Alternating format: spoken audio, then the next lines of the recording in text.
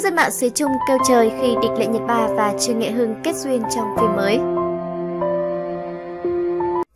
Năm 2019, Địch Lệ Nhật Ba tạo tiếng vang mới khi tham gia show lồng tiếng Thanh Lâm Kỳ Cảnh mùa 2.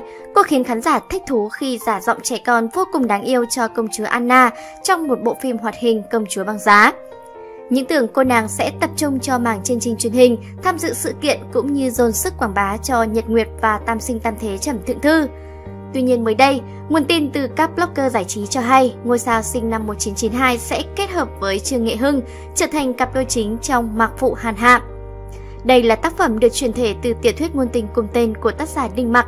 Nội dung nổi tiếng là vô cùng ngược tâm, kể về cô nàng Mộc Hàn Hạ trong một vụ tai nạn xe hơi đã cứu sống Lâm Mặc Thần, khiến anh nghi nhớ và ấn tượng sâu sắc. Nhưng khi có dịp gặp lại, cả hai mới biết thân phận của mình là đối thủ cạnh tranh trên thương trường. Sau đó Hàn Hạ vì cự tuyệt cấp trên mà bị ép từ chức. Dưới sự mời gọi của Lâm Mạc Thần, cô gia nhập công ty và làm việc cùng anh, lâu ngày bên nhau khiến cả hai nảy sinh tình cảm. Tuy nhiên, sự xuất hiện của người thứ ba đã tạo ra hàng loạt mâu thuẫn. Hàn Hạ chọn rời xa Lâm Mạc Thần. Cô đi Mỹ 6 năm một lòng chỉ tập trung cho sự nghiệp. Trong khi đó, Lâm Mạc Thần vẫn yêu thương và âm thầm bảo vệ cô. Ngày cả hai gặp lại ở Thượng Hải, Lâm Mạc Thần quyết tâm theo đuổi lại từ đầu. Trải qua hàng loạt vui buồn, rốt cuộc mối quan hệ đôi bên cũng tu thành chính quả. Mặc Phụ Hàn Hạ vốn dục dịch khởi động từ 2 năm trước, nhưng vì gặp vấn đề trong khâu tuyển chọn diễn viên chính mà dự án kéo dài đến nay. Trước đó cũng có tin đồn là Dương Dương và Ngô Thiến là ứng cử viên sáng giá của bộ phim, song mọi thứ vẫn chưa ngã ngũ.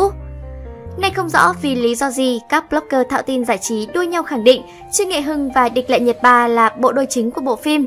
Đạo diễn được cho là Dương Văn Quân, người từng chỉ đạo phim truyền hình Phu Gia Hoàng hậu, phim điện ảnh bên nhau trọn đời.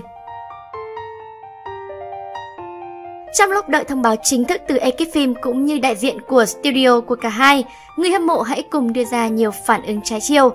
Đa phần đều phản đối và cho rằng Nhiệt Ba và Trương Nghệ Hưng khó tạo ra cảm giác couple trong một bộ phim vừa ngọt vừa ngược tâm từ nguyên tác của Đinh Mặc. Không có thông báo chính thức thì đừng hòng đánh lừa tụi này, tôi chỉ chờ đợi Trần Thượng Thư mà thôi. Sao chuyện dở hơi nào cũng lôi nhiệt ba của tôi vào vậy?